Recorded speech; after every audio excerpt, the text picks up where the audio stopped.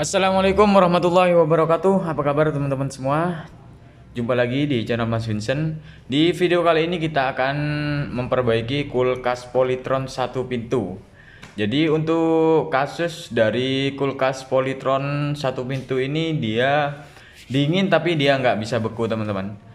Nah di sini teman-teman bisa lihat di bagian freezer ini berair. Jadi airnya banyak sedangkan bunga esnya itu dia nggak rata teman-teman ya. Nah ini banyak-banyak airnya. Dan bunga esnya itu eh, sebagian ada dan sebagian tidak ada teman-teman.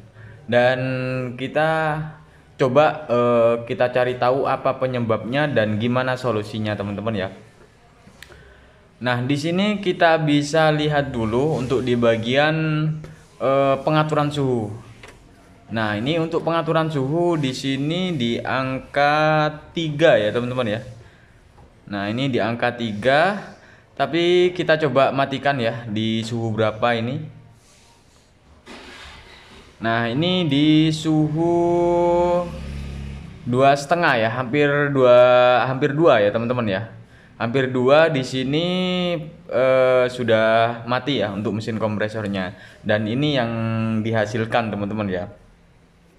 Nah, penyebab uh, dari dingin tapi nggak beku itu banyak banget teman-teman ya.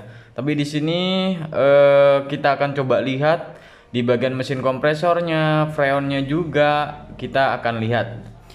Nah, di sini kita bisa lihat di bagian sisi bagian belakang itu di sini kan ada mesin kompresor ya.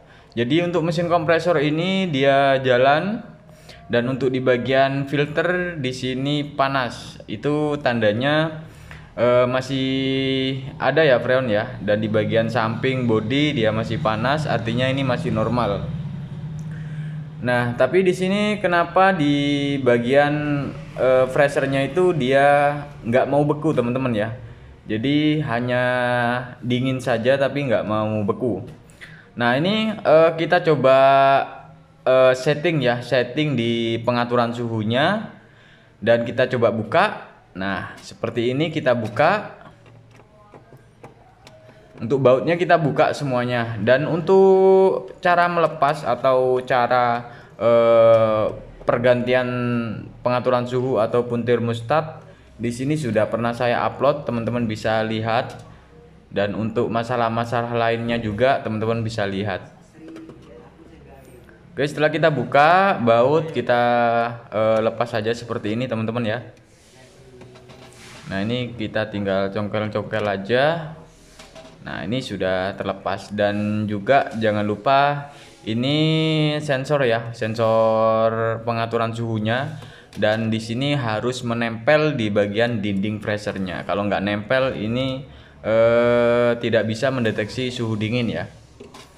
Nah, sehingga mesin kompresor eh, tetap jalan terus nanti. Oke setelah kita buka eh, pertama kita buka dulu semua dari kabelnya ini kita buka ya supaya kita bisa uh, lebih enak settingannya teman-teman ya.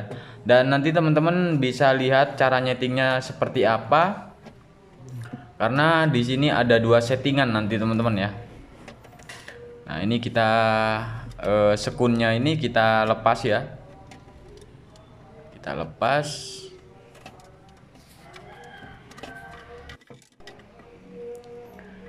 Oke, di sini tinggal satu lagi. Oke, di sini sudah terlepas ya. Nah, di sini teman-teman bisa perhatikan, di sini kan ada baut ya. Nah, ada baut dua, ya, itu ya yang warna kuning ya. Kita coba buka. Kita buka dulu covernya supaya lebih enak teman-teman ya. Nah, ini yang warna kuning ini eh, pengaturan eh, jeda kompresor ya. Kapan waktu kompresor itu hidup? Tuh kita bisa setting dan untuk di sini suhu dingin. Nah, di sini sudah kita buka ya, kita buka supaya kita lebih enak eh, untuk settingannya. Dan di sini untuk settingannya ketika kita putar ke kanan ya, itu artinya e, mesin kompresor e, lebih cepat mati ya. Kemudian eh, ketika kita putar ke arah berlawanan itu mesin kompresor lebih lama untuk bekerjanya supaya eh, proses pendinginan di bagian fresher ini lebih maksimal teman-teman ya.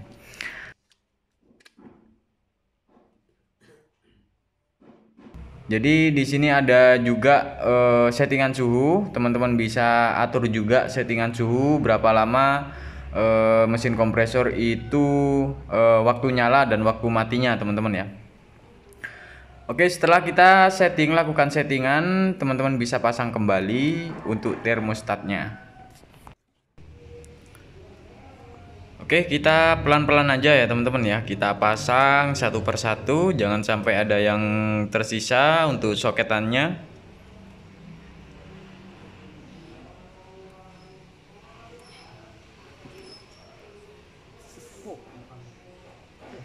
Oke, di sini saya coba uh, percepat ya untuk uh, proses pemasangannya karena menurut saya ini uh, sama saja waktu proses pelepasannya teman-teman ya.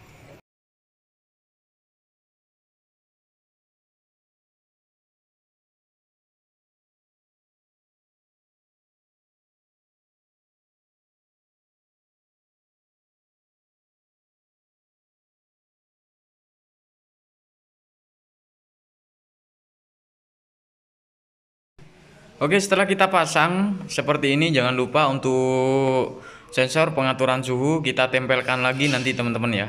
Nah ini jangan lupa dibiarkan. Kalau misalkan lepas teman-teman bisa pasang lagi. Ini juga mempengaruhi eh, kerusakan di bagian kulkas teman-teman ya.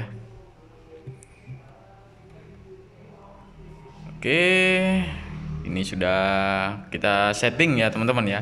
Dan di sini kita coba nyalakan untuk kulkasnya teman-teman ya.